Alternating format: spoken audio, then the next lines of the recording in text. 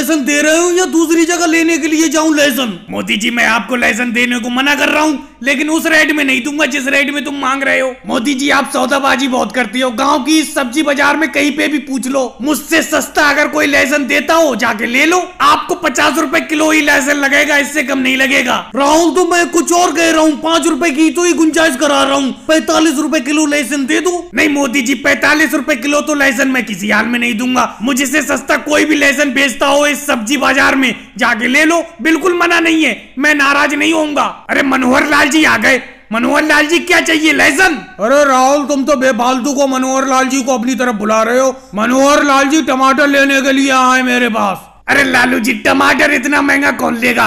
टमाटर अपने पास ही रखो। राहुल लौकी क्या भाव बेच रहे हो? और लौकी भी तो रखी है तुम्हारे लहसन के बराबर में। अरे मनोहर लाल जी ये लौकी मेरी है। मैं खरीद के लाया हूँ तीन चार लौकी। लौकी की सब्ज़ी मुझे बहुत पसंद है। राहुल तो ये अदरक और लहसन बेच रहा है। लहसन या अदरक ले लो। अरे लहसन अदरक तो नहीं खरीदूँगा। अगर लौकी होती तो लौकी खरीद लेता। अरे मनोहर लाल जी आलू खरीद लो आलू।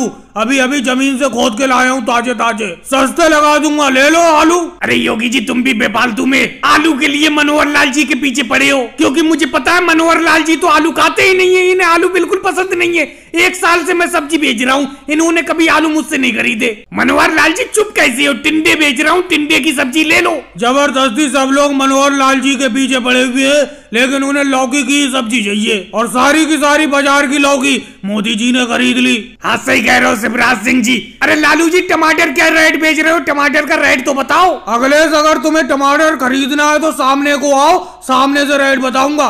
पीछे खड़े हो गए नहीं बताऊँगा तुम तो।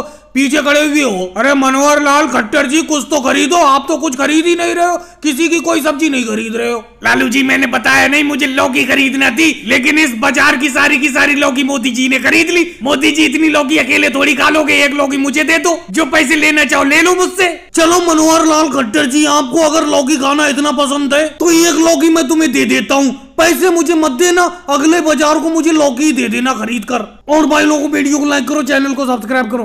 लेकिन मोदी जी समझ में नहीं आ रहा है अपने इस वाटर पंप में हुआ क्या है? ये पानी क्यों नहीं दे रहा है सही तरीके से? एक तो इतनी मुश्किल से अपना लोग इस वाटर पंप डीजल इंजन को यहाँ खेत पर खींच कर लाए। और यहाँ आकर जैसे अपना लोगों ने इसे चलाना शुरू किया ये तो पानी दे ही नहीं रहा मुझे लग रहा है ये खराब हो गया। राहुल ऐसा कैसे हो सकता है? इतनी जल्दी ये वाटर पंप कैसे खराब हो जाएगा? अभी परसों तो मैंने गाँव के पीछे वाले दो बीघा खेत में इस वाटर पंप से सिंचाई की थी। राहुल, मैं वाटर पंप में पानी डाल रहा हूँ। तुम जरा डीजल इंजन को स्टार्ट करना, देखते हैं इस बार पानी आ जाएगा शायद वाटर पंप से। मोदी जी, लगता है मुझे आपका ये वाटर पंप डीजल इंजन खराब हो गया। ये तो पानी दे ही नहीं रहा। दो घंटे से तुम इसको ठीक करने में लगे हुए हो। अभी तक तो इसने पानी दिया नहीं है। लगता है खेतों की सिंचाई नहीं हो पाएगी। क्या करें अखिलेश केजरीवाल जी का वाटर पंप मंगा लें? वाटर पंप से सिंचाई करने के मोदी जी भी पैसे लेंगे और केजरीवाल जी भी पैसे लेंगे। मोदी जी का ये वाटर पंप खराब हो गया तो केजरीवाल जी का वाटर पंप मंगा लेते हैं। लालू जी, आपको तो आपत रहती है। मोदी जी इतनी मेहनत से इस वाटर पंप को यहाँ पर खेत पर खींच कर लाए। तो कम से कम इन्हें ठीक तो कर लेने दीजिए। हाँ जब इनका वाटर पंप नहीं पानी दे पाएगा तो केजरीवाल जी का वाटर पंप मंगा लेंगे।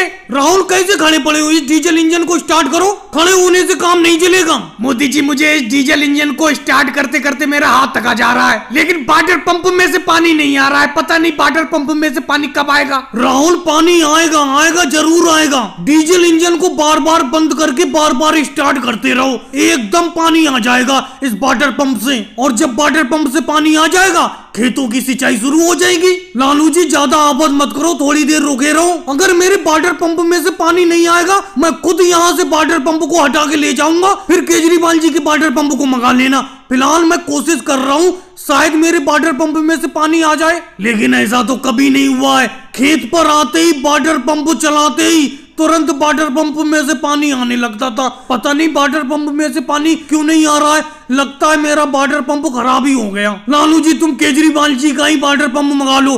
राहुल, चलो अपने वाटर पंप को यहाँ से ले चलते हैं। और भाइयों को वीडियो को लाइक करो, चैनल को सब्सक्राइब करो। योगी जी, मुझे लगता है आज मोदी जी गिर जाएँगे। मतलब इस दंगल की कुश्ती में चित्त हो जाएँगे। मुझे तो आज यही लगता है आज राहुल मोदी जी को हरा देगा। हालाँकि अभी तक हमेशा मोदी जी राहुल को हराते आए लेकिन आज तो ऐसा ही लग रहा है। लालू जी आपको लग रहा है लेकिन मोदी जी अभी ऐसे आसानी से नहीं हारेंगे। अभी वो पूरी तरीके से चित्त नहीं हुए। उन्होंने राहुल की एक टांग को अपनी दोनों टांगों से फंसा लिया। यही उनका आखिरी दाव है। हाँ योगी जी ये तो तुम ठीक कह रहे हो।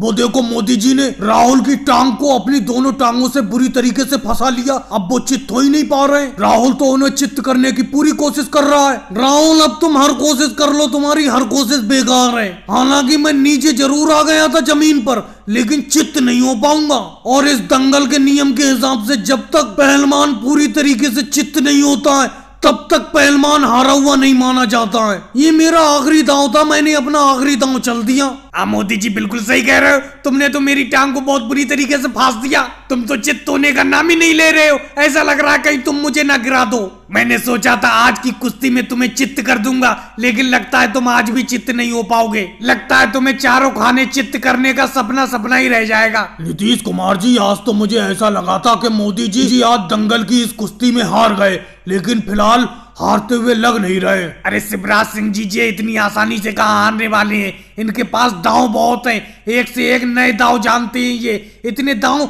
राहुल कहाँ जानता है? और ये कुश्ती दाव पेच का ही खेल होता है। मुझे लगता है ये कुश्ती बराबर पे छूटेगी ना मोदी जी जीतेंगे, ना राहुल जीतेगा। क्योंकि बहुत देर हो गई मोदी जी राहुल की टांग को जकड़े हुए हैं। मोदी जी का आखिरी दांव राहुल के दांव पर भारी पड़ गया। लेकिन राजनाथ सिंह जी एक पल के लिए तो लगा था कहीं मोदी जी हार ना जाए। मनोहर लाल खट्टर जी, राहुल का दांव कितना भी तगड़ा हो, हमसे तगड़ा दांव राहुल का नहीं हो सकता। इस दंगल के हम बहुत पुराने खिलाड़ी हैं। कितने भी हम नीचे गिर जाएँ लेकिन हार नहीं मानेंगे। अब देखो मैं नीचे गिर ज़रूर गया, लेकिन हारा नहीं। दंगल के इस खेल में राहुल से तो मैं इतनी आसानी से नहीं हारूँगा। और भाई लोगों, वीडियो को लाइक करो, चैनल को सब्सक्राइब करो।